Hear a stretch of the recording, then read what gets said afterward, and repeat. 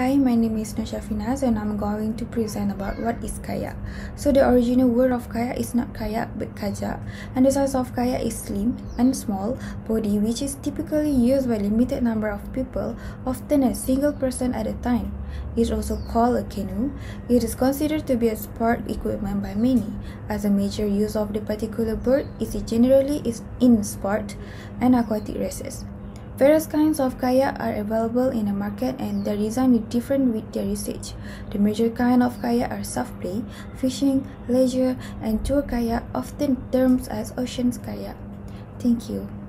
Hi, my name is Johan Manualuddin. So now that we know what is a kayak, let's take a look at what is a dragon boat.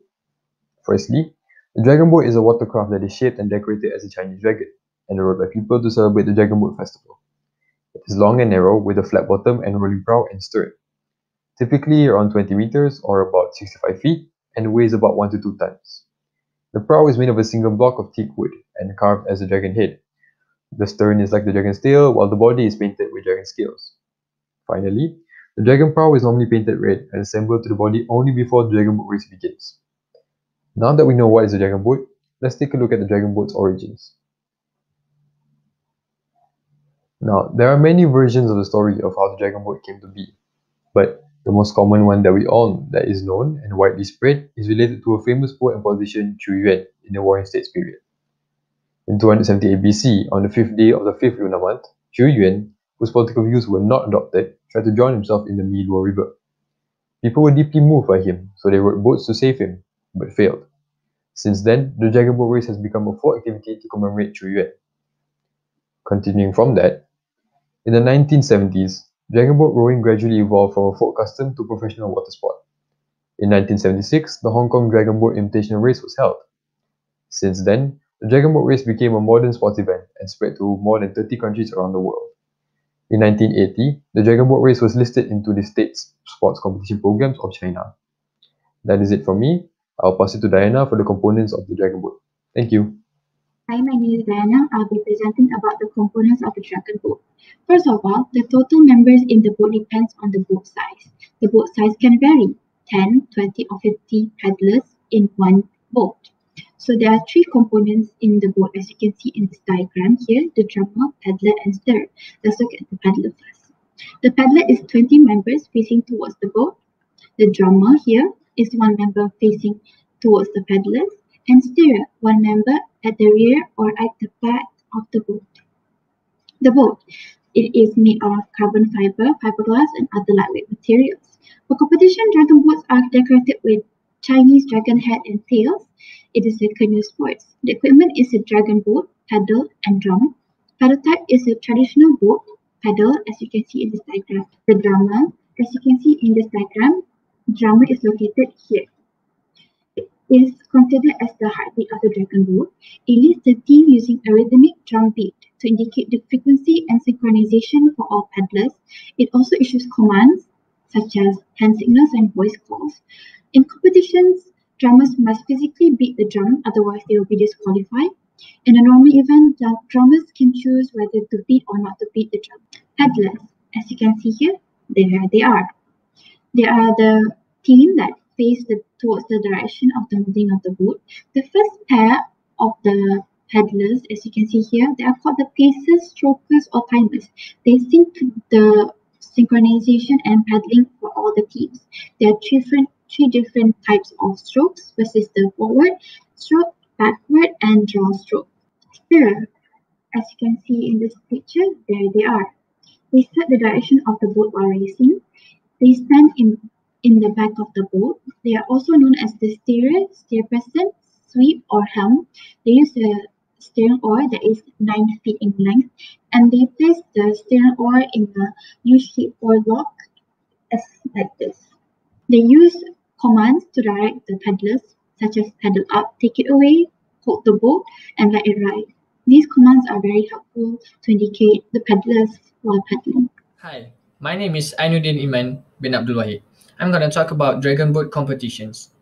In any competitions, there must be these four things, which is gender classes, age classes, boat classes, and race distance. In gender classes, there are three categories of gender classes, which is first women's classes, all the crewmates must be all females. The second one is open class, which is there is no restriction on crew composition. And the last one is mixed class. For the mixed class, the standard boat a minimum of 8 and a maximum of 10 for each gender. But for the small boat, the minimum is 4 and the maximum is 6. And this is the age classes. As we know, age classes have three categories, which is junior class A, B, and C, premier class, and senior class A, B, and C. As we can take a look at the screen, the junior class A must be under 18 but at least 12. Junior class B must be under 16 but at least 12. And the junior class C must be under 14 but at least 12. And for the premier class, there is no age restrictions. We move to the senior class. Senior class A must be over the age of 39 or 40 plus class. And senior B, or known as Grand Dragons, must be over the age of 49 and 50 plus class. And the last one is senior C, or Grand Dragons, which is must be more than over the age of 59 or 60 plus class. As we can see at the screen now, this is the design of the standard boat and the small boat in boat classes category. The standard boat have more longer body than the small boat because the standard boat can have 20 rowers, one drummer, and one steerer. However, the small boat just can have 10 rowers, one drummer, and one steerer. This is the last category, which is race distance. In the race distance, we have four type of distance, which is 200 or 250 meter, 500 meters, 1000 meters, and 2000 meters. In any competition, the distance of the competition have been decided by the competition's organizer. So this is the list of competition. First, I'm going to show you the local competition or the competition that runs in Malaysia. We have Johor International Dragon Boat Regatta 2019. The second one, we have Penang International Dragon Boat Festival 2019. And the last one, Sarawak International Dragon Boat Regatta 2019. And this is the list of international competition. First, we have the 17 Padang International Dragon Boat Festival, China Dragon Boat Festival 2019, and the last one we have 2019 European Dragon Boat and Club Championship. That's all from me. Thank you. Hi, my name is Izati and I am going to explain further about the safety of the boat. So, as you seen on the screen, we have four important things for the safetyness and the first one here is the safety bots. Okay, so uh, the safety bots will be able to hail verbally or on marine VHF radio on any craft that might enter the race area. The second one is the first aid. The first aid will be needed in certain main areas and is very essential and it is in terms of the first aid kit or maybe ambulance. And the next one is for the crews, they will need to be under the supervision of the BDA trained helms or also known as steerer who will be the boat captain whenever they're on the boat. And also each crew will nominate uh, has a nominated crew manager. And last but not least, we're gonna have the rescue boats. The rescue boats may act as a finish or the start line boats as long as their ability to attend problems isn't compromised. That's all from me. So what have we learned today?